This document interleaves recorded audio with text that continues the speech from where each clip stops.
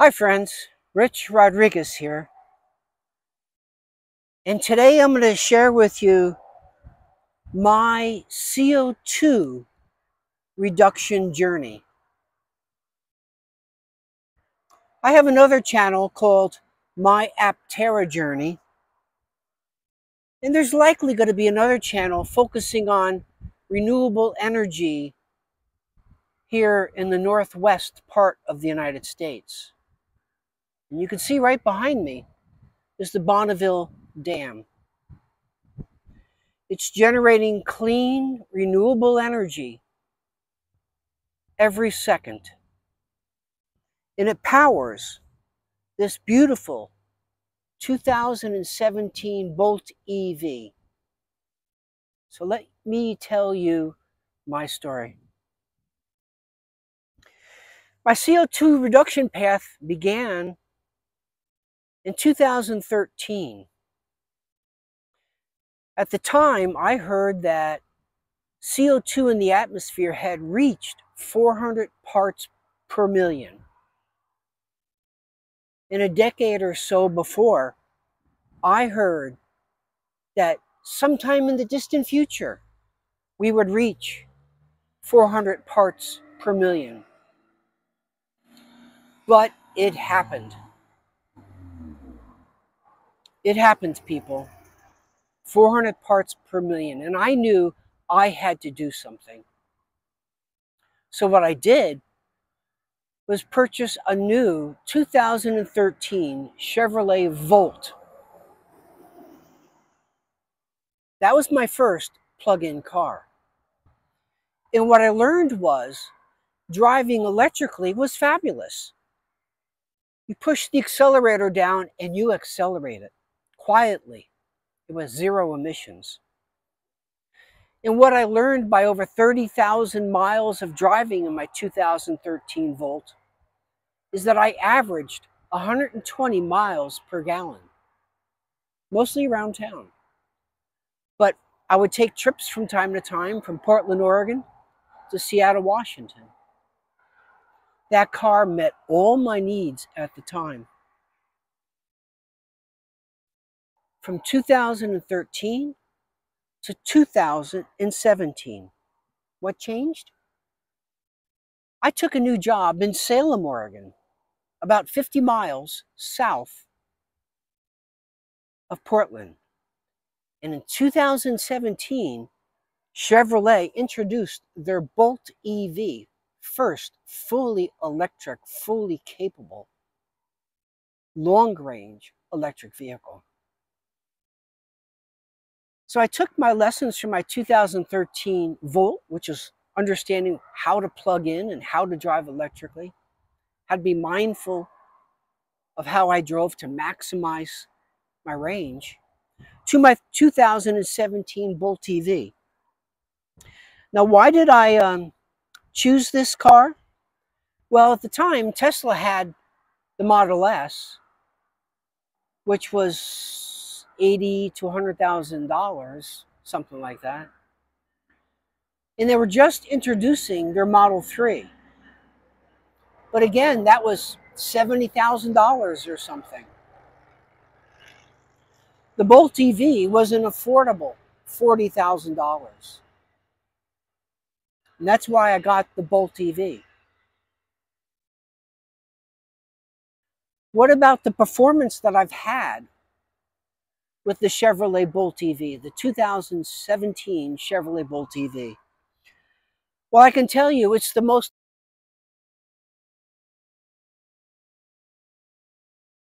the accelerator, you accelerate. Any other car I've had in the past, if I was merging on the freeway, I'd often have to drop back to merge. In this car, if you punch that accelerator, boom, you go. It is a joy to drive, an absolute joy. Quiet, powerful, and confident driving. I've also had zero problems with this car, absolutely zero problems. I have 103,000 miles on this car. I've had absolutely no problems. Windshield wipers, tires. And when I got to 100,000 miles, I put new shocks on because shocks wear out. You know, they're like shoes on our feet, they wear out. Absolutely no problems with this car. Now, yes, um, some people will talk about, oh, what happens if the battery wears out? What do you do? Well, at about 93,000 miles, I had lost maybe 8% of range. So a car that was rated at 238 miles of EPA range now was maybe 200. I'm just rounding. 200 miles of range after close to 100,000 miles. It met all of my needs with that battery degradation. In fact, I suspect that if I drove this vehicle on its original battery for 200,000 miles, I would be down to maybe 180 miles of range. 180 miles of range, people, meets all of my needs. And with the DC fast charging, you go to Seattle, you go to the far eastern part of Oregon, any place you want. In fact, uh, earlier this month, I was thinking about driving to Southern California, San Diego.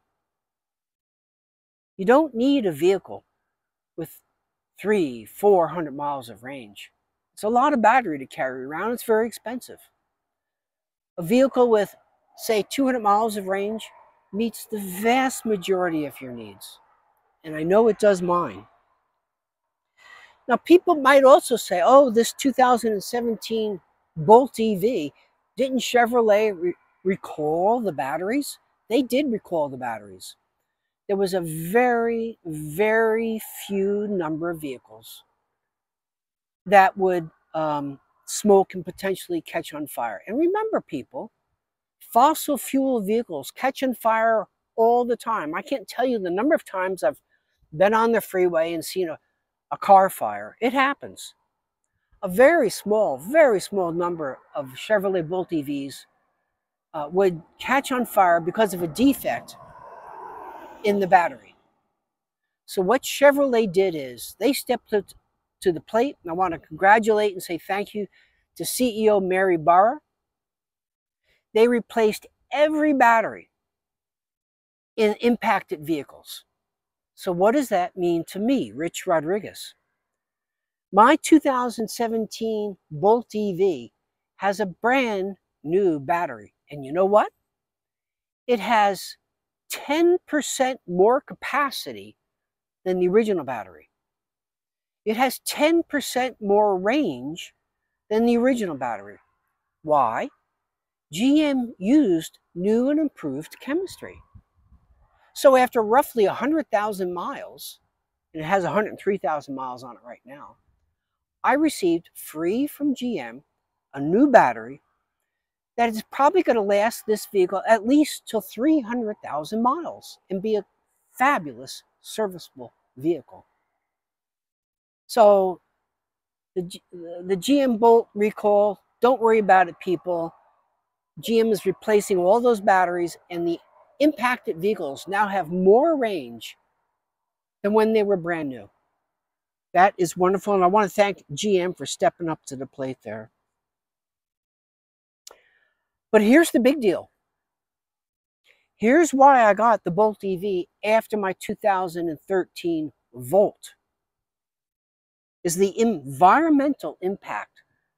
We're shooting this video today right behind or right in front of the Bonneville Dam. It's producing renewable energy 24 hours a day, seven days a week, 365 days a year. No fossil fuel is propelling my vehicle. Here in the Northwest, we're blessed by an abundance of hydropower. There's dams all up and down the Columbia. There's dams in the Cascade Mountains. Um, there's an abundance of hydropower, and we're getting more and more solar power in the Northwest as well. So what does that mean? the average new car right now for 103,000 miles would emit a total of 93,101 pounds of CO2.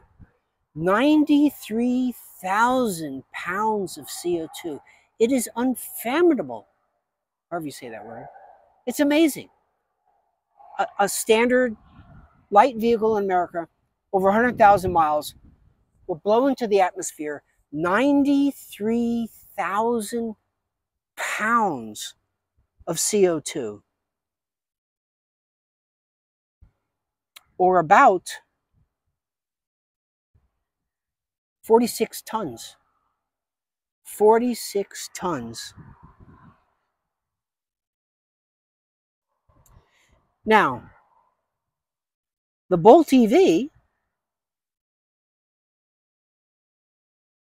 versus a standard vehicle, and I hope I got this right, I am displacing 74,000 pounds of CO2 by driving this car here in the Northwest with this abundant hydropower.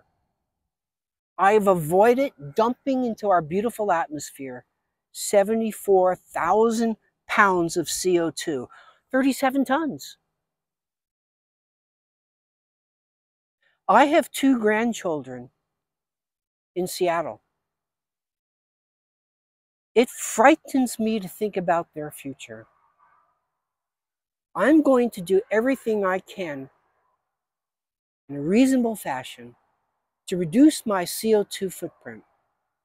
This vehicle has avoided 74,000 pounds of CO2 going into the atmosphere versus a standard electric car or standard fossil car. Am I happy with this car? You have no idea how happy I am with this car. No idea. This is the car, and I'm 60 something. This is the car in my whole life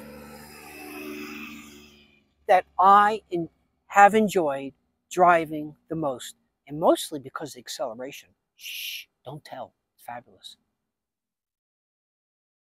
And of course, um, the operating um, savings to operate this car, it cost me about $5, people, $5 to charge this up at home for 200 miles of range. A fossil car might cost you right now $25 for, for 200 miles of range. That's a pretty substantial operating savings. So, um, the vehicle has been fabulous. I'm very happy with the car.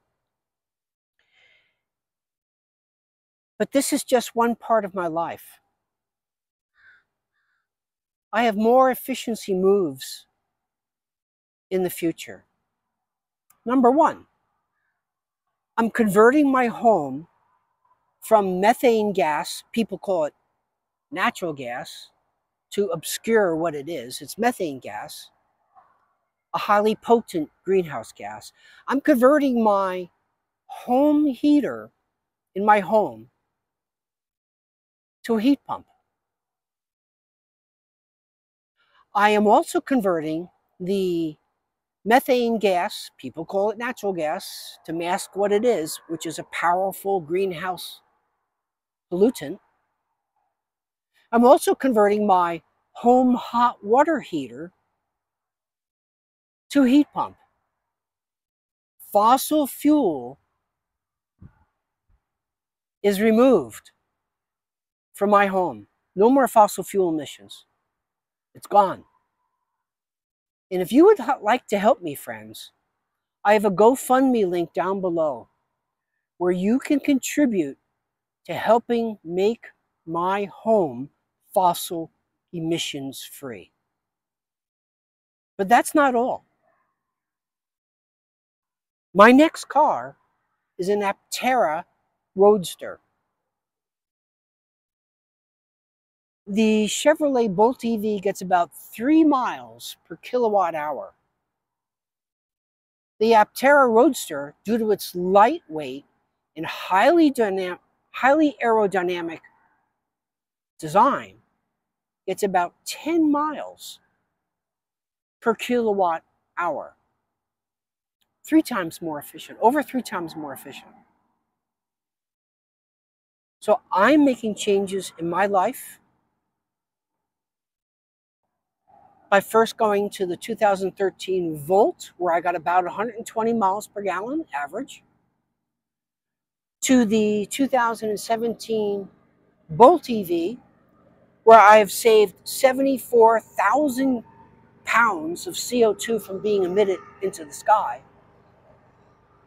I have eliminated CO2 emissions from my home with a home heat pump heater and a home heat pump water heater.